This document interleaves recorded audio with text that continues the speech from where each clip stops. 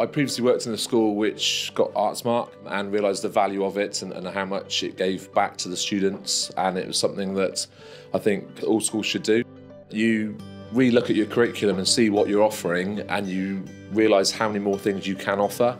And that gives students the opportunity to extend their experience, try new things, and it may be something that they've never have done before. In a previous post in another school, I had already worked with Artsmark, so I know it really works well. I know it's really thorough.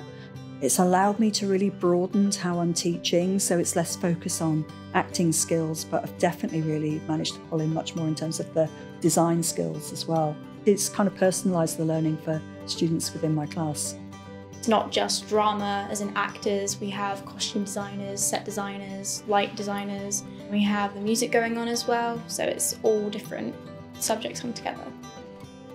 It broadens what they do and they are so engaged and you can tell the way they come in the room and they're smiling and they're happy. They want to be here and they want to do well and they can't wait to come and see what they're doing this week. The lesson we've just done with printing, you know, some of them have never printed before. Just to give them that experience, it, it, it's more than kind of sitting down and drawing and colouring and, and doing that sort of thing. We really want to push the boundaries of what we can offer them.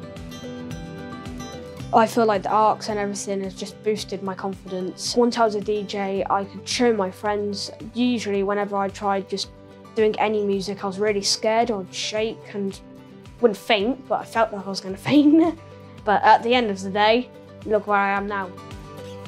One of the really great positive things about working with Artsmark is how it's encouraged us as staff to start working together and creating more cross-curricular topics. So students, when they're in their drama lesson, actually recognise things from the cell structure of their science lesson. And I think it's been really good to see how the arts can enhance any subject.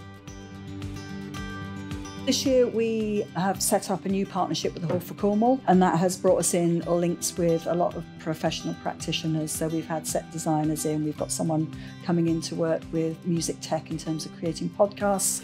We've had costume designers coming in working with drama and textiles GCSE. Since coming to Fowey, it's really kind of invigorated my passion for it, and I know I want to go on in college and university to study costume design. The textiles lessons and my art teachers really helped promote that sort of inspiration in me. Music and drama, two things that I never thought I would actually do. I now want to go further and do them in college, and I've just been really enjoying the time I've had doing them it can really open your eyes to what the experience of the students can be. It really pushes you out of your comfort zone and gets you thinking really creatively.